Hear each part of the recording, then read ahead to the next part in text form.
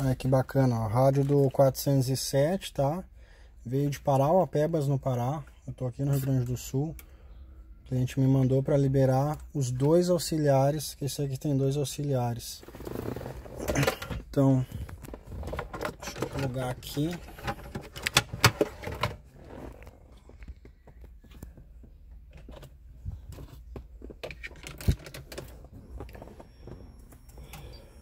Já tem vídeo habilitando os dois auxiliares, né?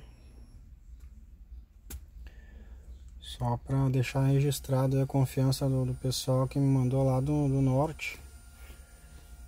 Mandou pelo correio. Eu recebo o rádio aqui, faço a habilitação do auxiliar e reenvio pelo correio.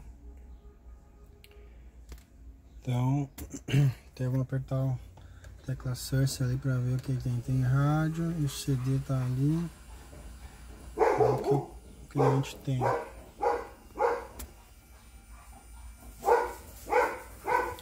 Esse passo a passo já tá no vídeo que eu fiz de dois auxiliares de um, um RD4.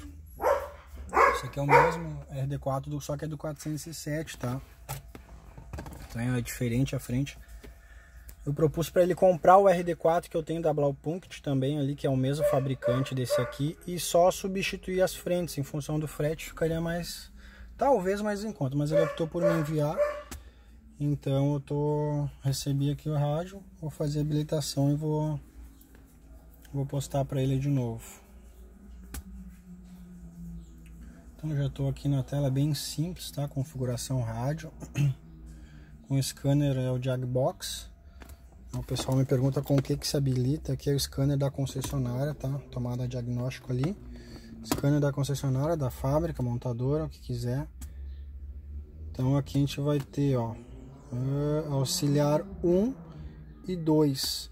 No auxiliar 1 ele vai botar uh, o Bluetooth e no auxiliar 2 provavelmente ele vai usar cabo. Então eu vou dar um pause aqui, só vou habilitar. Vou habilitar dois aqui.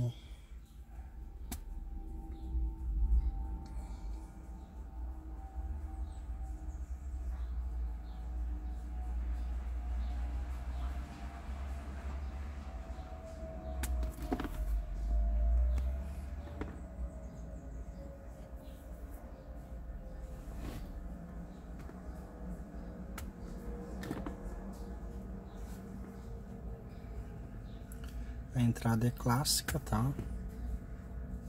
Então eu vou conversar com ele, porque a entrada 1 tá... A entrada 1 tá reservado para caixa Nomad, então vou ver se ele vai usar Bluetooth para ligação, né? O original do carro. Ó, com a telecodificação efetuada. A partir desse momento começa a aparecer no painel ali. Ó, entrada auxiliar 2. Vou habilitar um também e vou mandar o rádio para ele. Vou mandar com o cabo. Então eu vou depois eu mostro o vídeo como é que eu vou fazer o cabo para ele.